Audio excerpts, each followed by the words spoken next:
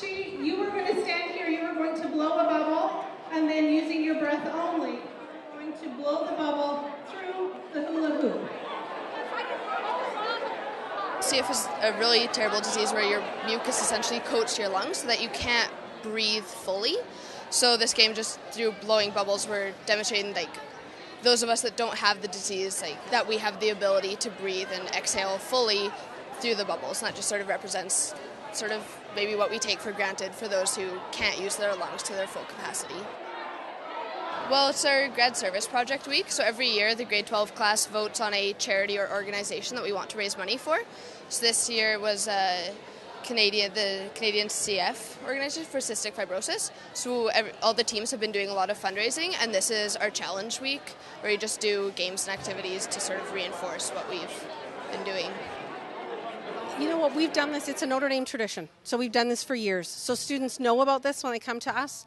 Their perhaps older brothers and sisters have been involved. It's a bit of a bragging thing to see who can raise the most money. They want to beat last year. That's kind of the goal every year. Uh, but it's just something that the kids get involved in and, and nice to give back to the community and, and do something a little bit different, not just in a classroom. They go in the community. They talk fa- to families. There was a there have been movie nights. There's been food truck wars.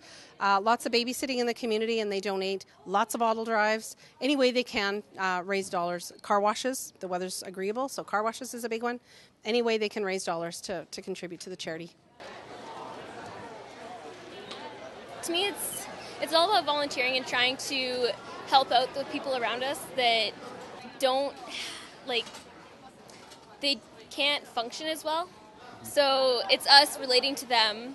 Like this year, I believe it is $65,000 is what we're trying to raise.